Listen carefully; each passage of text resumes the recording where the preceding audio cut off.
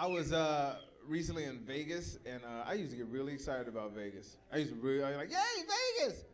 Now I'm like, "Fuck, Vegas? How many buffets can you eat at in this bitch?"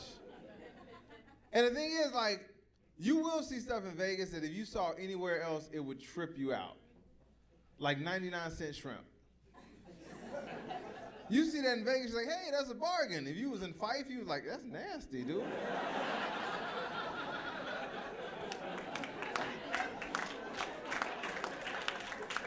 I don't want no 99 cent shrimp. What the hell?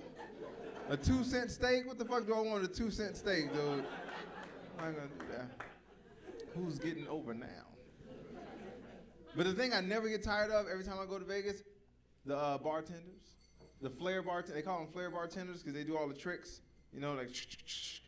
I saw them make one guy's drink where they took the cup, bounced it off his shoe, caught the cup, and made the drink. And I'm on the side like, man, that is amazing and unsanitary. but still amazing, all right? So I'm watching him make my drink, and he's doing all the tricks and everything, and he's like, here you go. I'm like, did you put your dick in my drink?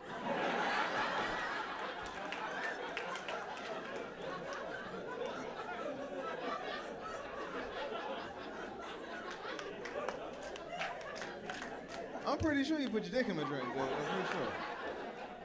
That's, not the tip I was talking about. I was, that was not what I meant by a tip at all, dude. That's, I took that the wrong way.